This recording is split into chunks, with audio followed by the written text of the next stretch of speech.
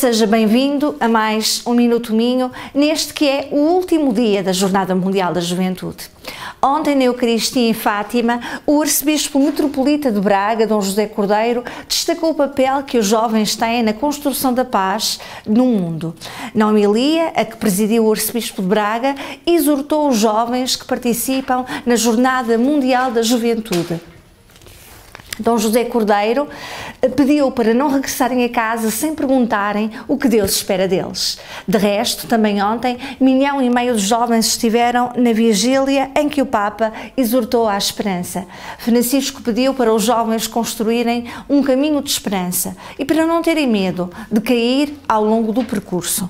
Fazemos também um outro destaque, agora de regresso à região, para o que foi a Batalha das Flores que deu cor ao centro de Guimarães.